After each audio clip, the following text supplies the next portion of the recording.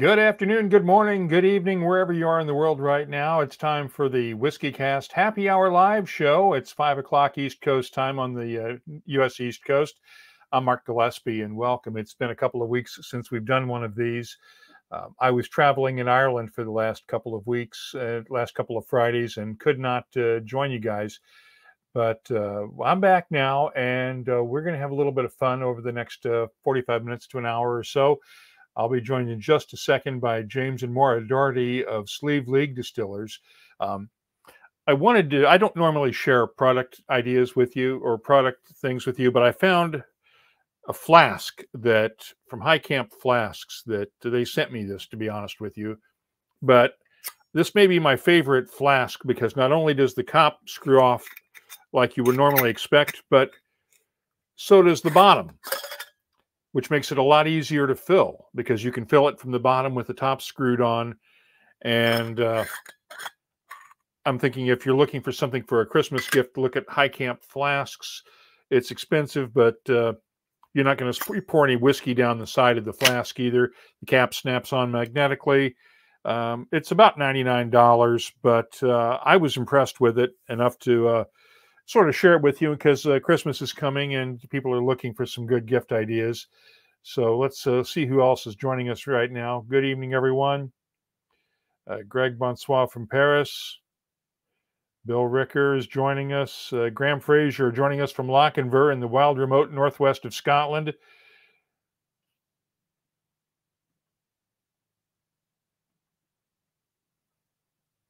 Chris Ratcliffe has opened his first 1792 full proof this week. And Greg's Whiskey Guide says, yes, it is pricey, but uh, for a flask that you can actually open from the bottom, uh, it's something I've never seen before, and I like the idea of it. Uh, let's see, Dave Kuhn finally made it to Westland Distillery a couple of weeks ago. They were lovely. The woman in the tasting room said she loved you, WhiskyCast. She gave him a glass of Deacon's Seat. Oh boy, that's a good one. That was one of their first releases back in the day. Uh, glad you got there and uh, glad you met a fellow listener along the way, Dave. Let's bring in our guests right now from the Sliabh Liag Distillery, County Donegal, Ireland, a beautiful northern part of Ireland.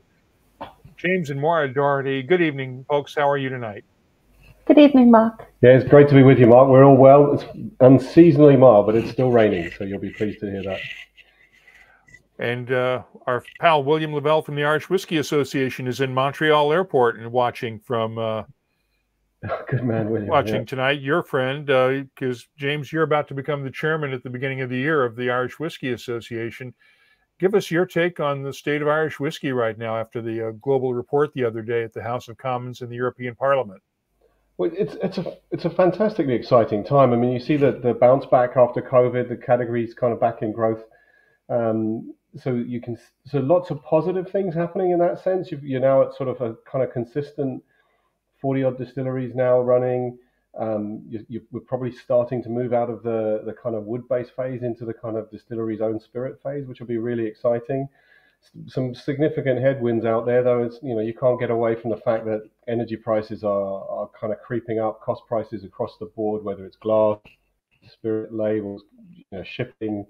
Um, uh, you know, so those are kind of big issues, and, and, the sustainability agenda is kind of kicking on as well. So, you know, I think it's you know, sustainability is no longer something that you gave an afterthought to. I think, you know, a lot of the new distilleries, thankfully, are kind of being designed with it in, and um, but it's it's very much a table stake, I think, for drinkers as well. You know, people are expecting you to do it, and I think it's important for us that we sit, you know, we sort of tread lightly on the ground where we are. Is, is kind of our philosophy as well. But, um, you know, it's, it's good to see the, category back in growth and back in strong growth. Let's talk about your, your whiskeys, the silky whiskeys. I'm drinking the Midnight Silky here, which was. Uh, finished in virgin oak and imperial stout casks. Tell us about this one because we've got some questions about it already come in by email. Oh, lovely. So, well, the, the, the silky range is is designed to take you on a journey through smoky Irish whiskey, a sort of return to the tastes of rural Ireland, uh, if you like, and, and as opposed to the sort of more city-based flavors that probably have dominated Irish whiskey sort of since the 1960s. And the silky, the midnight silky, is our third in the um, is it the third in the range? It's the core. They're the core releases. The the Midnight is a single malt. The the Legendary Silky and the Dark Silky are both blends with with great with grain whiskey bases. Um, with, with, Midnight Silky, 35% of the blend is is triple distilled peated Irish whiskey or smoky Irish. Um, the base structure of it, I guess, is made up of a, a Cabernet Sauvignon cask and the Imperial Stout cask you mentioned, which give you a real creaminess and a kind of nice red sort of toffee apple sweetness. Um, and then we have Oloroso sherry, uh, Oloroso sherry, and then the an Oloroso sherry finished in virgin oak, which gives you that kind of balances the sweetness with the bitterness. So it's quite a complex blend. It's uh, um, theoretically it's the, the, smokiest of our range. I don't think it quite drinks that way, um, and that's maybe because it's effectively a single malt rather than a blend. Where did the idea come from for this one? Connor O'Hare says he thinks the Imperial cask finish is amazing. The peat and the roasty notes of the beer are perfectly balanced. And uh, he also wants to know if you'll see a cask strength version coming out at any point. there, there is one. There was one released um, the end of September. September yeah. yeah. So, so cask strength came out at the end of September, so that is available. Uh, only here in Ireland at the moment, um, and it's sort of at the distillery or on the online shop. Um, we'll try to roll out cask strengths, you know, more frequently now. It's just we haven't really had the kind of distribution platform that, that, could cope with those things. It was probably a little bit early for us in terms of our sort of brand evolution, the kind of growth of the business, if you like. The the Imperial Stout casks um, from White Hag Brewery in Sligo are are fantastic. I mean, I thought they would give us a real kind of milk chocolatey note. I think it comes across as a more creaminess, um, and it, but it does give you this lovely. We love this kind of idea of a soft mouthfeel, a soft texture to the whiskies, no matter how strong they are. Um, and we bottle everything kind of not at 46%, so they're non-chill filtered, all natural color. Um, but as as uh, as Connor picked up, those the Imperial Stout cask really does set off the peated elements really nicely. And the midnight is beautiful at cask strength. Really, really nice. Yeah, absolutely. Our pal Greg Serafian in Paris says he doesn't know the distillery. He's only heard of the Silky name. He wants to know if you source your whiskeys or if you have your own whiskey ready already. I know you're laying down your own whiskeys, but this is sourced, yeah. correct? It is. This, these are um, so Great Northern is the distillery where we source our whiskies from. We have used Cooley previously. Um, but uh, all of the whiskies in the Silky currently are all from Great Northern and um, were blended originally um, with Brian Watts. You know, I spent a lot of time at Will Grants and learned to blend at uh, the knee of David Stewart, and, and then have taken that on to work with Brian, bless him, who helped us put the Silkies together and create that style that it is today. So the Silky is sourced and will largely always be sourced um, not, the distillery, our distillery in Ardara only produces peated whiskey, so peated single malt and peat pot still. So we we will never produce a you know we haven't got any columns, so we can't produce a grain whiskey, and we don't produce any unpeated whiskies in the distillery. So we'll continue to source those elements. Um, so yeah, I suppose it, it'll continue to be a largely sourced blend. Uh, and, and I kind of we say it on the neck label, so for us it's always important that you're kind of transparent about that. We are getting a couple of questions in about Brexit. Uh, Chris Ratcliffe wants to know what effect Brexit has had on distributing whiskies around Ireland, since you have the uh, the question of the Northern Irish border to deal with. Yeah, it's a, it's an interesting one. Brexit for us has probably been more of a challenge for inputs, so stuff coming into into us rather than distributing around Ireland. Northern Ireland, technic, so the island of Ireland is technically still all within Europe. So the, the so that part of it means that distribution from the Republic into the north is not really a, um, that challenge hasn't really changed. But um, going across to to the, to the British mainland, we the UK has moved from being an EU partner where everything could move, there was a free movement of goods and services, to a third country. So the paperwork now is effectively the same as we'd have to do to ship to the USA or, or to South Africa or Australia or anywhere else. So the paperwork burden is bigger. And also, you've got to remember that you know, for sort of 40 years, all of the customs officials haven't had to deal with this kind of stuff. so everyone's on a really steep learning curve.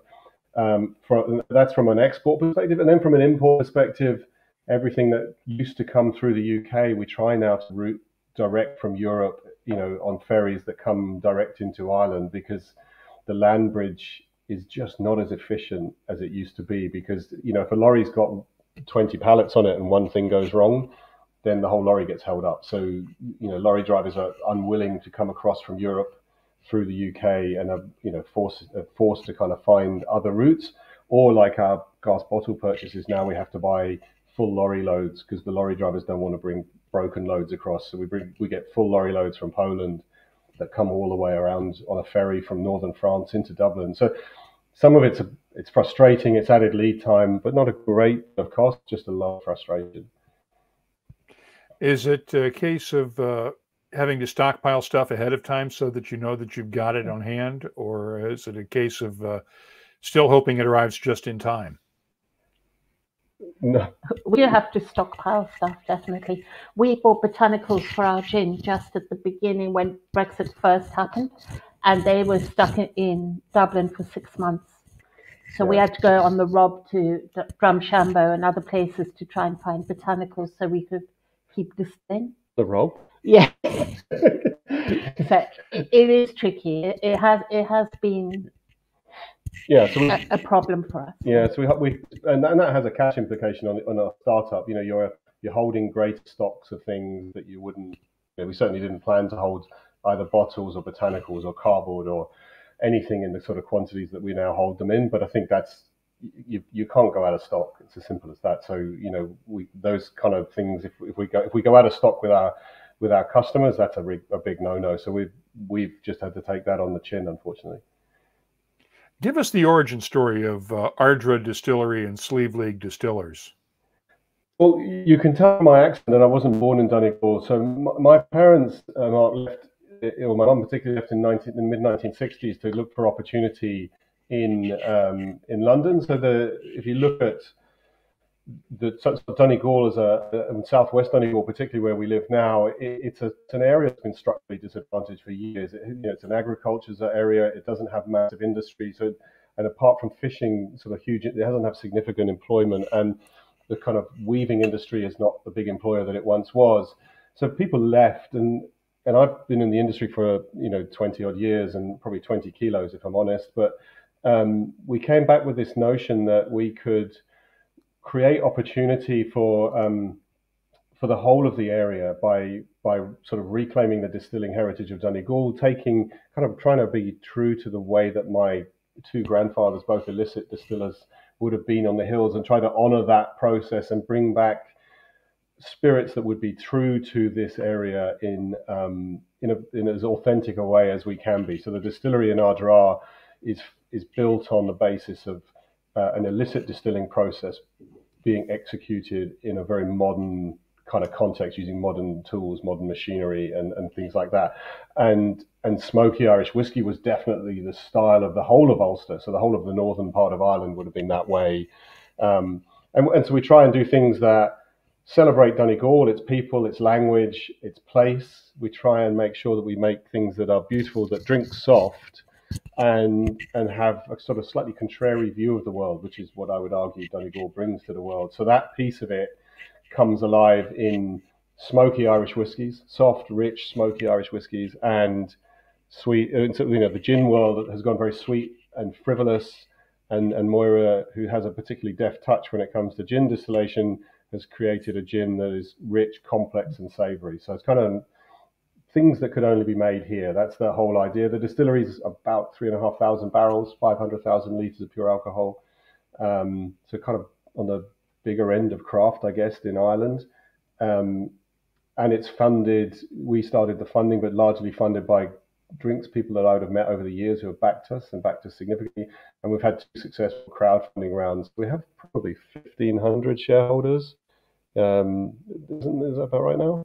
Yeah, including crowd, including yeah. the Crowdcube shareholders. So that's um, so it's kind of a very much a community based piece, and, and hopefully that will kind of see us into the into the future.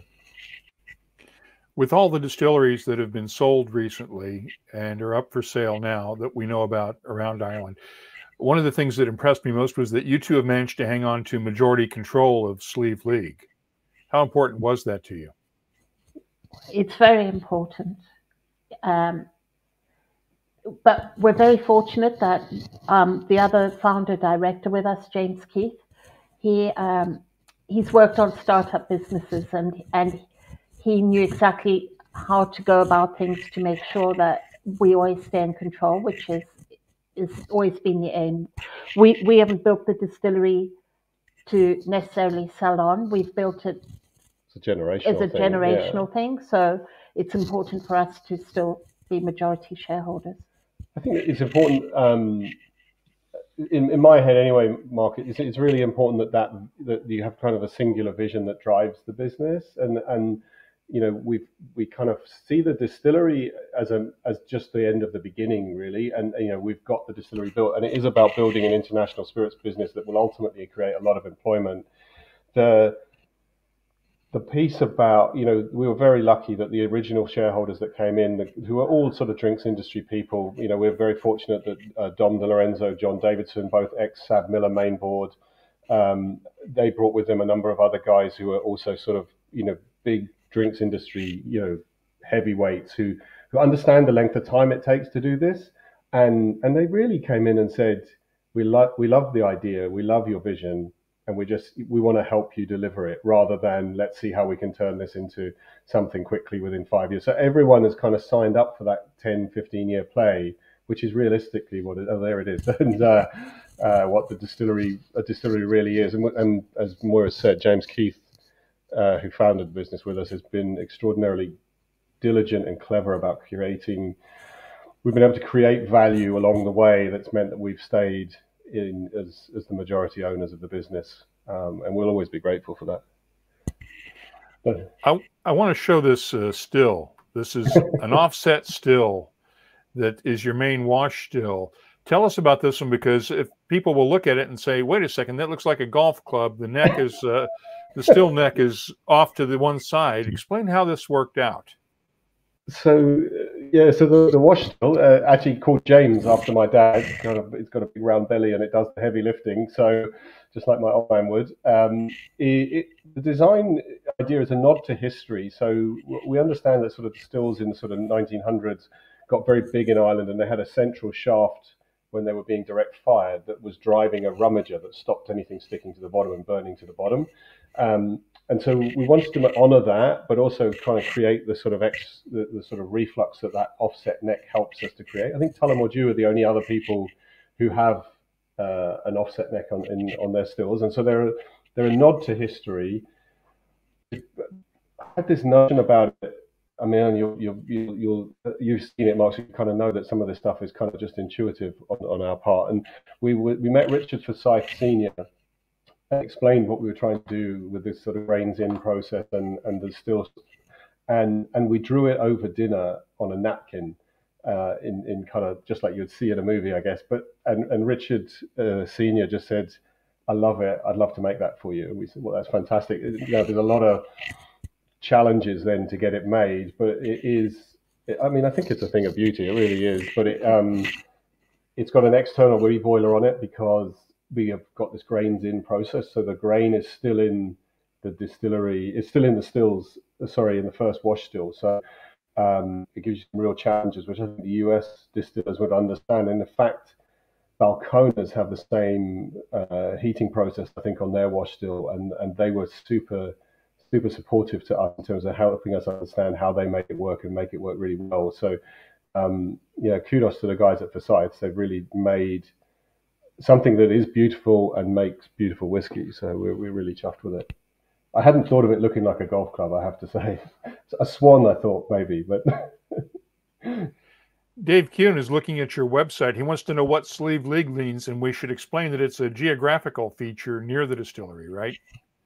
It is. So the so Slieve League was is the site of where we had a we were originally wanting to build a distillery, and that um, sadly didn't happen. But uh, the so Slieve in Irish, and so uh, the Irish language has fewer uh, letters in the alphabet than, than say a, a, UK or British sort of English alphabet. So BH makes a V sound, and, and MH makes a W sound very largely. So Slieve is the first word, Liag is the, the second word. Slieve is mountain, and League is uh, flagstone. So it means the mountain of flagstones, and um, yeah, it's it's the among the highest sea-facing cliffs in Europe. Half the mountain has, ones. has fallen into the sea, at about six, and they're 600 meters high, so they're sort of three times height of the cliffs of Moher.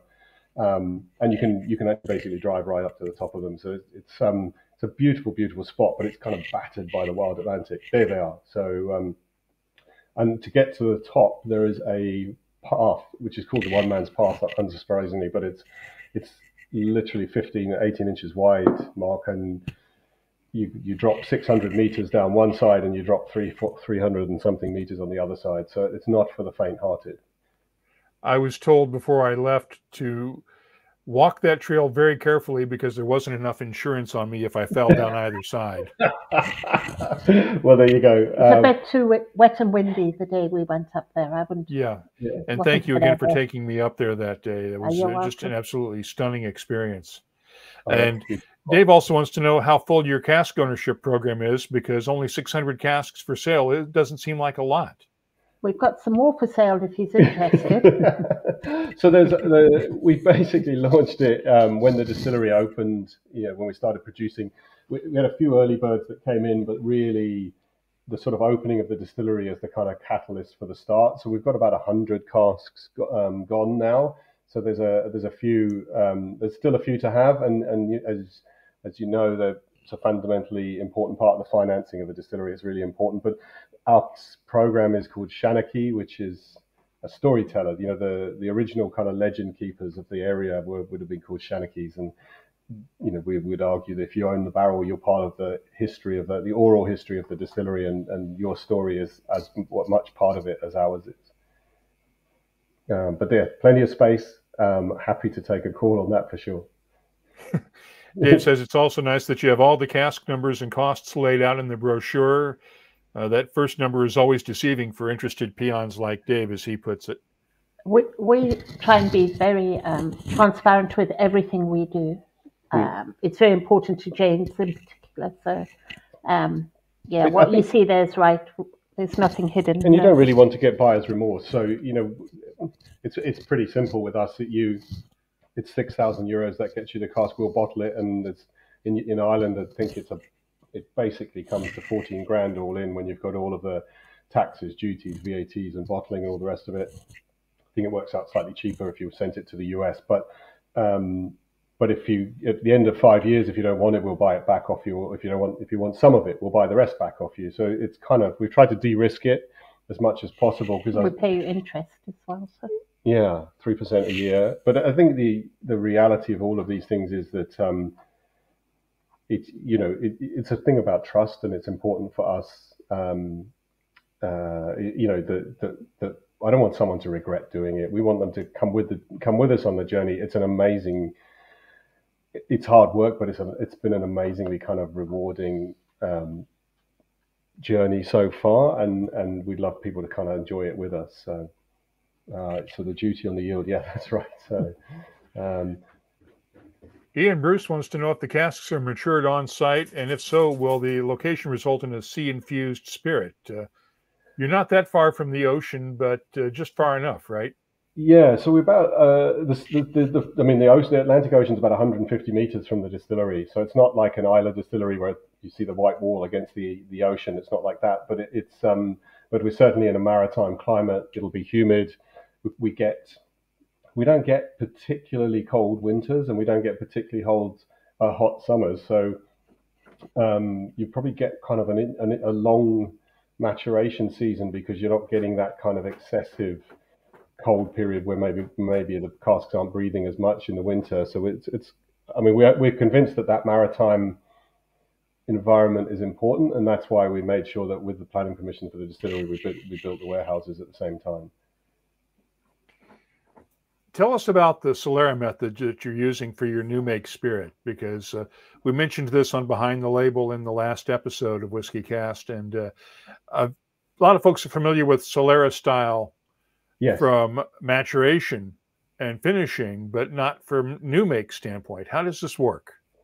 So uh, um, it's, a, it's a good question. We, was about the, the, the idea behind it was that the, the, the beauty of the Solera is is that it allows you to to bring different things together. If you're doing it at the end of a process, you're bringing different woods together, different ages together, and it allows you to keep that kind of consistency and continuity of style um, forever. So we we kind of wanted to cr- convey the idea of legacy and the idea that we would, and, and, we felt that the Solera at the beginning of the process was an interesting way of doing that. So we have two six thousand liter wooden Soleras. Um, the new make spirit is pumped up from the distillery to the barrel store and it goes into the wooden Solera. It's held at 78%, so the, the sort of still strength um, uh, in the wooden Soleras. And those Soleras are never fully emptied. So we basically can take six batches at a time in and they, they kind of mix together and we then try and iron effectively we should be able to iron out the sort of inconsistency batch to batch. So we should always have a very consistent spirit going forward. And we don't have the luxury of um, of 200 years of history to sell, but in 100 years' time, hopefully someone will be able to come in and some of that original spirit will still be in those Soleras because it's because the um, because the off takes um, a quarter of the way up, so it's always a quarter of the tank is still um, is still full. So it, it, gives us continuity batch to batch. It allows us to kind of keep that connection to the original spirit and you know, and for us, it is about trying to convey sort of a sense of legacy, which we've inherited from, uh, you know, our grandfathers and fathers and, and mothers, and, and want to kind of bequeath to the ones that come after us. Tell us about the poitín you made today using your grandfather's recipe. yeah, so we've had a bit of fun uh, today. Actually, you just missed it, unfortunately, Mark. We, have um, so I, so this kind of, I suppose, some of this idea really started with my grand, and my granddad died in '78, and and, and we never really heard tell of his botching stories when we were little, um, and my grand would never have any conversation about it in the house. But when I was a student and I was studying agriculture, I hitchhiked over to see my grand, and um, I sat with her one night, and she just off the bat started telling me granddad's story and the story of his poitín. And she he, he does have 72 cousins, and he was the only one who was told the story out of all of them. So um, that's so, kind of important to the story. Yeah. So um, so Gran gave me the, you know, she told me about it, and she told me how she, you know, people who had tried to shop Grandad to the police that she wouldn't, you know, she hadn't spoken to them since, kind of thing, and. Um, and she made me write down his recipe, which I've, you know, which we've carried around the world as we've lived in, you know, all sorts of different parts of the world. I never quite understood why she gave it to me because I was going to be a farmer at that time. Um, but maybe she knew something I didn't. And we've just this week made his poitín recipe. It, it's I don't think it'll set the world alight, but it's a lot of fun. And the the recipe is peated malt, um, um, molasses, and uh, uh, and oats, so peated oats as well. So it's um, it's incredible. I mean, distilling it has been. I mean, listening, smelling it in the fermenters was amazing, but it is. It's got this lovely grassy, smoky anise, aniseed, which has really surprised us, and and a kind of almost a hazelnut brittle kind of taste to it. So, yeah, that probably hasn't been made since maybe the mid '60s, um, which is always kind of fun, you know, bringing something like that back. What are you going to do with it? So we, we we're going we will sell it. Um, ultimately, it's a you know we've we've got the the branding and everything is sorted. Um, it'll be Carr's poitín. Granddad was Frank Frank Carr, so you know, and it's his recipe. So so we'll honour him with it. And but I'm I'm not sure at the moment how much time and energy we can give that uh, can give it as a focus. I think you know the the important thing for us is is getting the getting the distillery running really well, make, laying down the best single malt and the best pot still that we can. Um, getting this sort of creating the, some more silkies that kind of tell that smoky story and pave the way for the Ardara distillery whiskies when they come out. Um, so it is really an Irish whiskey play, and and Moira's working on some of her gins as well. So I think we've we've got a lot on, and it's probably poitín's probably the harder one to sort of decide on, on on how to bring to market. So it'd probably be a distillery exclusive at the start, I think. And we had a question uh, from Connor O'Hare. Can you get a tour around the distillery and is there a gift shop? And the answer is to yes to both, right? yes to both. Yes, yes to both. Yeah. And it is and it's very much a tour of a working distillery. Yes. It's not um it's not a full on visitor experience. You know, I, we, we hesitate to use the word experience. So it, it, you can come and see us you, you, you, I mean, you, you get up close and personal with all the equipment. The distillers are all moving around all the time. Um, the process that we use is kind of very distinct, quite specific, very Donegal. Um, it's the, I think it might be the only distillery that's completely configured the way it is, and we're dedicated to peated Irish, which is not a typical kind of thing. So, so it is kind of unique. Um, as, as, you've seen, we've kind of shoehorned the shop and the tasting area into reception um, in in the best the best ways of a of a startup, really. So you know, there's a we'll over time we'll enhance it and, and make it more, but it's it's open uh, Monday to Saturday, 10, 12, 2 and 4, um, and, and Grania and Kyla will look after you. And Dave Kuhn wants to know about, uh, wants to talk about your decision to make peated whiskey. Explain the legacy of uh, peated smoky whiskeys in the northern part of Ireland. Thank. I mean, it's a really good question because you know when you sort of, sort of modern history of Irish whiskey is is not not to sort of talk about smoky smoky whiskies, and we tend to talk about smoky. We in Ireland you don't really talk about peat so much as turf, so we would call it turf. And um, I mean, ultimately the the northern part of Ireland made malt was a single malt heartland, and pot still was more a, sort of from the, the, southern half of the country. Of the country. Um, and to us, it was kind of alien that any whiskies that would have been made in the area would have been dried without using sort of peat smoke as a as the as the sort of way to fuel that fire to dry to, to get the create the, the hot air. And and there is kind of lots of evidence of kind of peated whiskies being made in, in Ulster. The Ulster style was, you know, probably you know a mix of double and triple distilled but peated uh, single malts, and no one was really championing it. So when we came back to to sort of build the distillery, we were very clear in our minds that it was Irish spellings, kind of championing the Irish language because we live in the Gaeltacht, um, being true to our sense of place, you know, where we live, all of the whiskies here must have been peated. And if you look at the the reason that Burt Distillery, the last distillery in the area in 1841, when that closed, it was making a light kind of unpeated spirit, and it just didn't have a home market, and it wasn't big enough to compete on an international market, so it folded. And that said to us that you know we sh- that was where we should focus because Donegal as a place is quite different to a lot of the rest of Ireland. It has this slightly contrarian view of the world, which I've definitely inherited. I think Moira would guarantee. Um, and you know, the, the, so we wanted to bring that style back, and, and we knew that my grandfather's poitín recipe was peated, so it felt like that was the way we should be going and making a very distinct, very Donegal play in the world of Irish whiskey.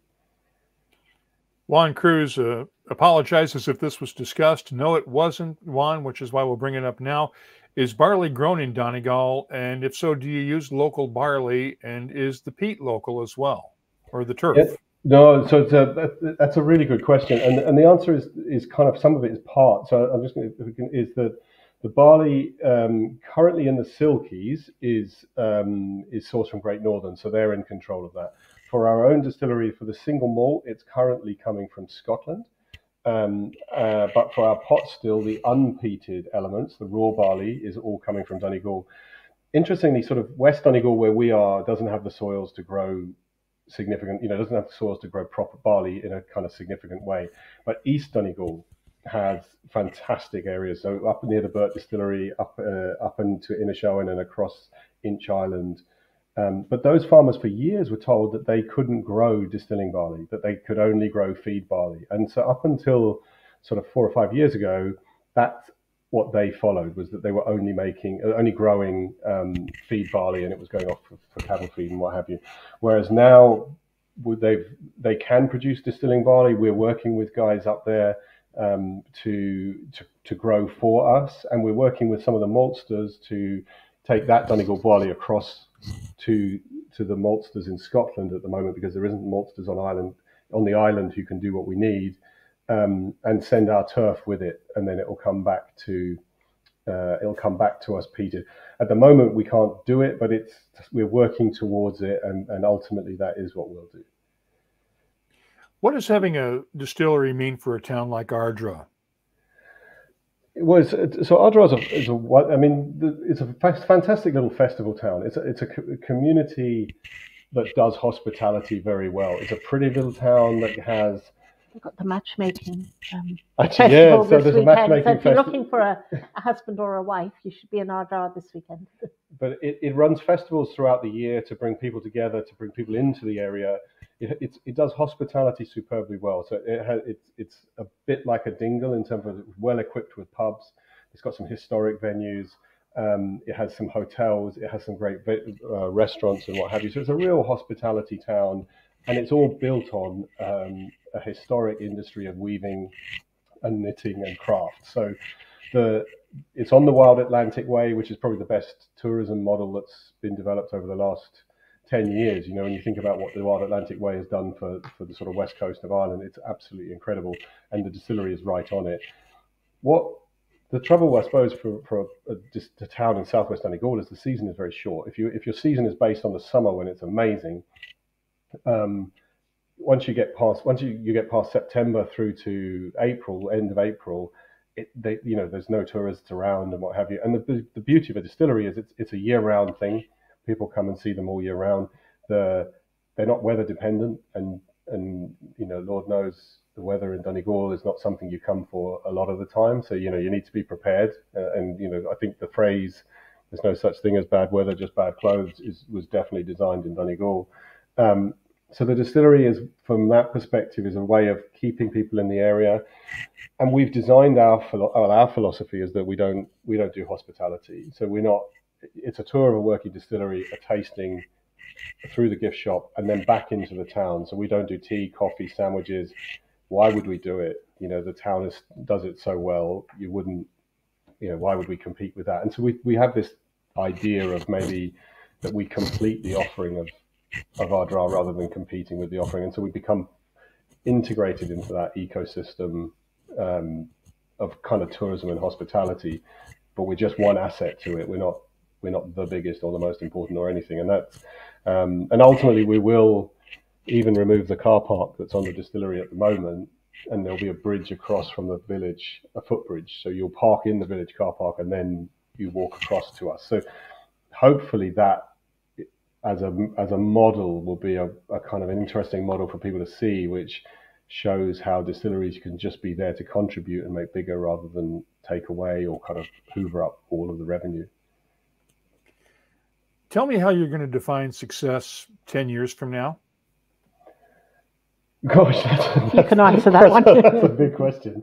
Um, yeah, well, I suppose that um, fun, well, I suppose fundamentally we've got we've got a number of shareholders that, that, that are looking for returns, and that's got to happen. So so we ha- we'll have to find an exit for some people. I mean, my view would be that we have an international spirits business with multiple brands uh, operating in multiple countries, and that we you know that we probably have a hundred thousand case business is really what we would be targeting. I think that's a self-sustaining kind of size. We'd be present we're already in 40 countries, and to be honest, that's big enough. It's complex enough for us. Um, we just need to grow those businesses well now and, and focus on the few key markets that really drive the business forward. Um, but success for me would be that peated Irish whiskey, is, smoky Irish whiskey, is recognised as as an authentic piece of the Irish whiskey sort of furniture and the fabric, and that would be really important. That and that Donegal has is recognized for having a distinctive style of spirit um, that that is of value to the sort of Irish spirits world. We had a discussion earlier about duties and customs, and uh, this is not something that uh, you guys can explain, but I want to go ahead and answer it real quickly here. Um, yeah. Because some folks were questioning about uh, what they can get away with with uh, passing through U.S. customs with some bottles. Here's what I've been told: is that basically, unless your duty amounts to more than twenty dollars, it's actually more expensive for customs to do the paperwork than it is to uh, to collect the duty okay. than it is for you just to let you let you walk through. So um, the one time that I even got close that I had to pay duty was coming back from Speyside in 2010 when I had 18 bottles in my luggage and the duty was only $24. so they made me pay it. But uh, other than that, uh, as long as you're honest and declare everything that you've got, they'll generally let you walk through. Um, I think I had five bottles in my luggage when I came back from uh, Ireland last Friday night, and just told the uh, customs officer, "That's what I've got. I'm a little over my limit." And he goes, "Have a nice night. As long as you're yeah. honest about it, they'll let you go through." I, so I, I want to sort of explore. Yeah, we would we'd be very similar. I can't take samples over all the time, Mark, and I would say, you know, I've, I've had five or six bottles in a in my suitcase. Uh, I never, you know, never take anything into your check luggage, but uh, sorry, in your carry on. But in your check luggage, five or six bottles. Like you say, if you're honest about it, I've never had anyone charge me, ask me, give me any hassle at all. Now, Dave Kuhn has a question: Has an Irish whiskey been made with roasted barley? Uh, yeah, no, I not by us. Uh, I think, I think um, David Boyd Armstrong at the Rademon Estate, which is Shortcross, I think he has done it. I wouldn't be surprised, but I don't know. But I would not be surprised if Peter Ryan has done it down at Blackwater. Um, so it's a kind of thing that Peter would have definitely had a look at. Um, and probably Echlinville and Killowen, I would suspect, might have looked at, and Bailliach, the small distillery at the north of Donegal. So I would say yes, it's been done. I'm pretty sure David's done it down at Rademon, but I'm not sure of any that, that have made it to market yet. And let's see here. Chris Tansenko says, who lives in Australia, says they don't even ask about it anymore on the immigration paperwork for U.S. Customs. Uh, unlike Australian customs, where they get excited if you're over 2.1 liters, that's because the taxes are much higher in Australia, right? Absolutely. I would assume so, Chris. So, yeah. So that should pretty much do it. I really appreciate your time tonight, James and Moira Doherty from Sliabh Liag Distillers. Thank you for joining us. Uh, I know it's late over there, and I appreciate you staying up late to uh, join us. No, it's an absolute You're pleasure, welcome. and thank you for coming to see us the other day. Much really yeah. appreciated. Thank you for hosting me. I appreciate it. Uh, wait, wait, a second. I forgot. We had, didn't talk to you more about the gin. You're all right. but you did you did like the gin, which made me. I did very, like very the gin, and I'm not a gin person. Yeah, that made me very happy. So tell us about uh, making gin. Well, we make An Dúlamán, which is um, a gin of the sea, a gin to make you feel like you're being kissed by a sea breeze. It contains 11 botanicals, and five of those are seaweeds, which we harvest locally on the shores around where we are. In fact, tomorrow Jim's got to go out and try and find some pepper because we can't make any more gin until we've got some. So um, that's our gin. Yeah. Yeah. So it's the five five seaweeds. Most of them would have been used as a foodstuff, yeah. or you know, they've been eaten or snacked on for thousands of years. Sugar kelp, which is uh, sweet kombu. I think actually Gray Whale actually in the US uses that one. I think it's probably the, the most straightforward of the gin, of the yeah. seaweeds to use. Dulse, which is a snack here locally, is a bit like a vegan jerky and tastes um, a bit like smoky bacon crisps, uh, if that makes sense. Um, Carrageen moss superfood, which uh, also foams incredibly. So yeah, we vapor infuse that. So we vapor infuse that simultaneously. Um, you learned that the hard way, as I recall, didn't you? we did. We put it into our still. It was the very first thing we ever tried to distill, and it foamed and came out of everywhere. It was a nightmare. So we were scrubbing the floors full and, Tom and Jerry the walls and everything. It was foaming all over the place. Um, and then the final, the most special of the seaweeds is one called uh, pepper, pepper dulse, which is the one I'll be picking tomorrow. It's uh, the truffle of the sea. It, it grows literally an inch long. Um, it's we need a low tide to follow it out, uh, follow the tide out, and get chased back in. But it it tastes like garlic chorizo uh, with a sort of chili, leaves your lips tingling like chili. It's incredible stuff. Um, but it's a nightmare to pick because you're on your hands and knees with almost nail scissors kind of doing it. But I have to say, Moira's, we came back to do this together, but it turns out she's just a much better distiller than me. so it is a savoury gin. Um, it's a bit different from other gins out there, but since 2017, we've been capturing the magic of the sea. That's what we're saying. It, it um, makes a, a, really good martini, a good Negroni. Uh, my favorite way to drink it is a mojito And if you get fresh oysters and you, you eat the oyster out of the shell, but leave the liquor in the shell and put a shot of An Dúlamán in and drink it, it's absolutely delicious. It's a perfect dirty martini. Perfect dirty martini, but um, it's not in America yet.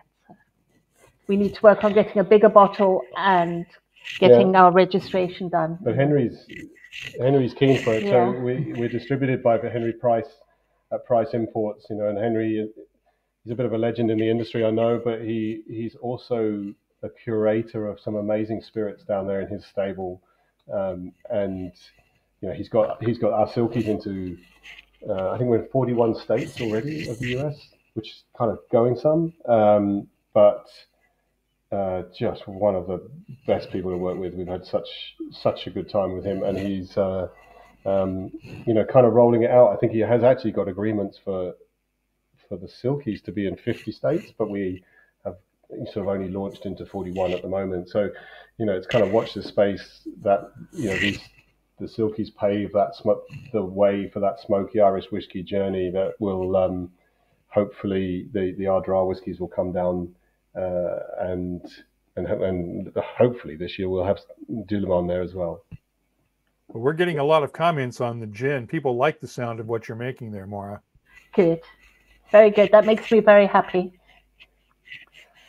So with that, yeah, that's it. Yeah. I haven't heard the other one, Ratha Gin. Ratha? Never I've never heard of that one. Ratha.